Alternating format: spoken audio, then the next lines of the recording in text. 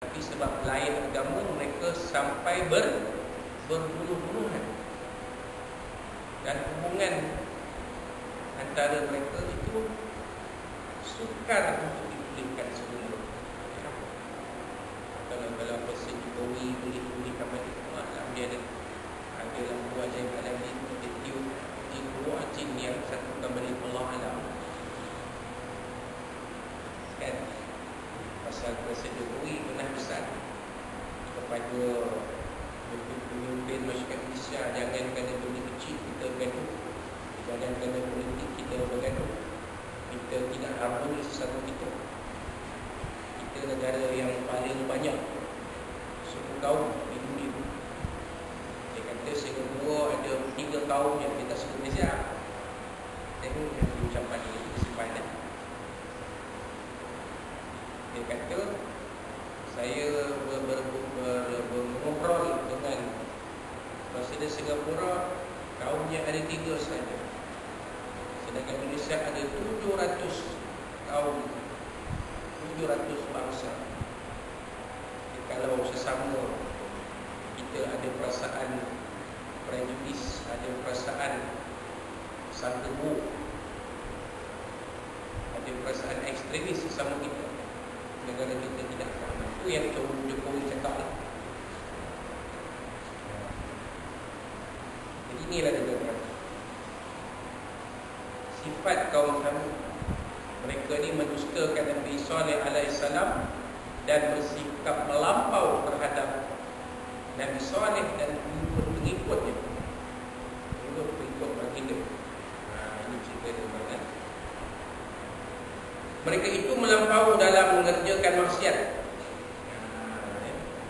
Bukan saja mereka ini bersikap keras Melampau terhadap Nabi Saleh dan pengikut baginda ya, Mereka juga bersikap melampau dalam melakukan maksiat. Tak tahulah melampau macam mana tak kita di sini. Sembah berhala Minum awak, berzina, berjudi Perbuatan maksiat kan tuan Tuan kita pun faham maksiat dia buat. Berkoyak-koyak Yang kuat menindas yang lemah. Kaum lelaki menindas kaum wanita. Macam-macam lah. Ini berlaku apabila bangkit seorang yang celaka dan dari kaum tamu bernama Udar ibn Salam yang bertekad membunuh unta betina tersebut ini umba'atan ashbaha Dia bangkit Orang yang paling kejam di kalangan mereka Dia nak lawan Nabi Salih AS Dia kan ada pemimpin tu. Kan? Pemberontak Gulungan ni memerlukan pemberontak Gulungan pembangkang Ini dalam cerita dalam cerita dalam konteks Politik demokrasi Hubungan pembangkang tidak akan kuat kalau tiada pemimpin yang hebat. Kalau pemimpin pembangkang sendiri pun tiada kekuatan. Orang ketis sikit ya, arah dulu. Maka pembangkang tidak akan bangkit. Syukur macam ni. Kalau tiada Ibn Salam memimpin kaum Samud menentang seruan Nabi Saleh alaihissalam niscaya kaum Samud ini akan mengikuti agama Allah taala.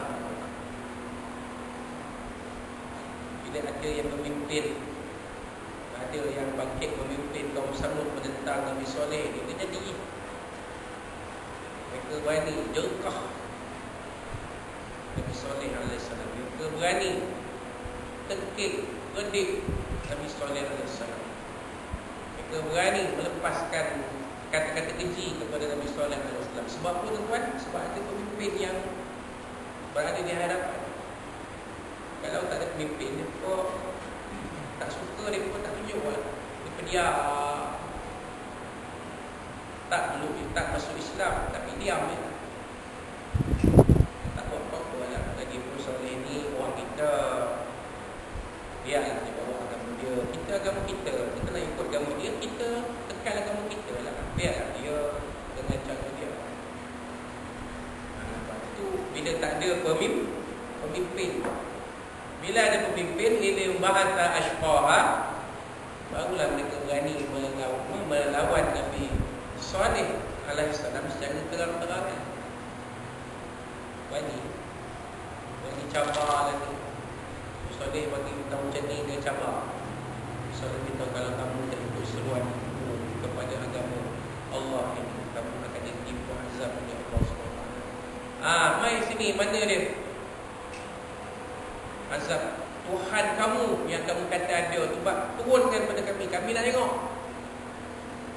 Ah, itulah dialog yang digunakan oleh pelakon Salih Kamil dalam filem isi isinya arah Jamil Sulu tahun 1960 itu dialog dia lawan dia menentang pendakwah yang membawa agama Islam ke bumi Nusantara dia lawan akhirnya dia ditelan bumi kan? Balik tuan balik tengok.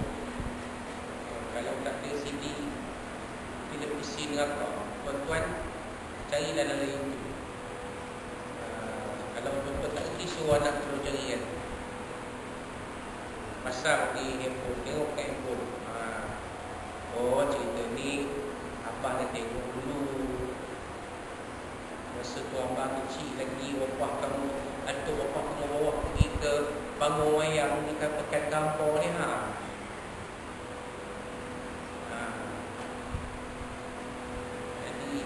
Abah dah tengok cerita ni. Dia akan cerita apa Ustaz Ilmi tu sebut dalam mulia. Eh? Itulah dialog. Dialog yang disebut oleh saudara Kamil dikatakan selepas dia menyebut dialog tu dia menggigil dan hampir pengsan. Terpaksa ditenangkan oleh seniman Tuan Haji Mahdi bin Syekh Haji Muhammad Said Ali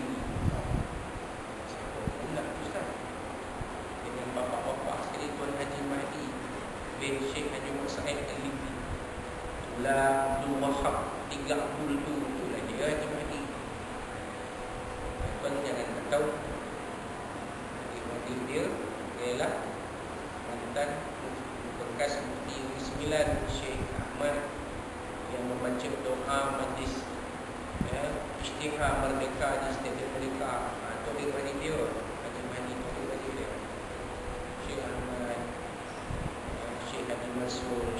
Redha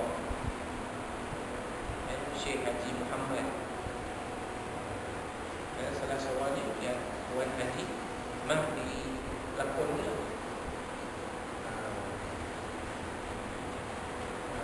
Sebab dialog tak patut dilapaskan seolah-olah macam kita cabar Allah. Ngimpil sekali kami lepas mengucapkan dialog katanya bila isi neraka itu memberi kesan kepada dia sampailah ke akhir hayat. Dia terasa. Selepas filem itu dia berasa-rasa meninggalkan dunia perfilman. Last sekali dia berlakon bersama Piramli dalam filem tiga tiga saya kami eh? yang jadi Tuan Kasim 4 tahun ha. lepas dia ampas itu Salih Kamil tidak lagi berlaku takut ketemu macam dalam filem isi ini yang tuan Bin Salam dia inilah yang memimpin kaum Samud menentang seruan Nabi Saleh alaihi salam.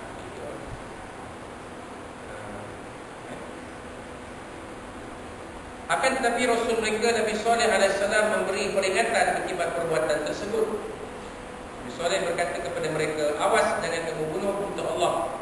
Jangan jangan diganggu." Faqala lahum Rasulullah nafaqallahi wa suqiyaha.